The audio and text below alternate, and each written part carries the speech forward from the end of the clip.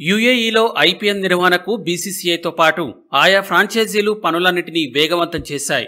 సమయం తక్కువగా ఉన్నా కూడా అన్ని జాగ్రత్తలు తీసుకుని ముందుకు వెళ్తున్నాయి. అయితే విదేశీ ఆటగాళ్ళ విషయమై సందిగ్ధత నెలకొని ఉంది.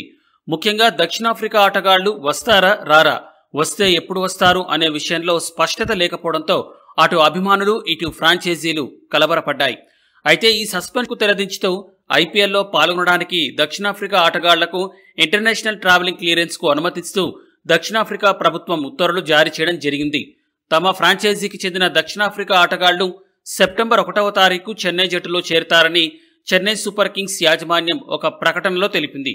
దక్షిణాఫ్రికాకు చెందిన de Villiers Imran Tahir Lungi Ngidi Dale Steyn వంటి అగ్రశ్రేణి ఆటగాళ్ళు చెన్నై బెంగళూరు జట్లకు ప్రాతినిధ్యం వహిస్తున్నారు. ముఖ్యంగా డివిలియర్స్ వంటి భారీ హిట్టర్ అనుకున్న సమయానికే ఐపీఎల్ మొదటి మ్యాచ్ నుండి అందుబాటులో ఉండటంతో బెంగళూరు అభిమానులు ఎంతగానో సంతోషిస్తున్నారు. ఎట్టకేలకు దక్షిణాఫ్రికాకు చెందిన పది మంది ఆటగాళ్ళకు ఐపీఎల్లో ఆడటానికి అనుమతి లభించడంతో ఆయా ఫ్రాంచైజీలతో పాటు అభిమానులు కూడా ఆనందం వ్యక్తం చేస్తున్నారు. ఈ వీడియో గనక మీకు నచ్చినట్లయితే లైక్ షేర్ కామెంట్ చేయండి. మరిన్ని అప్డేట్స్ కోసం మా ఛానల్ని సబ్స్క్రైబ్ చేసుకోండి.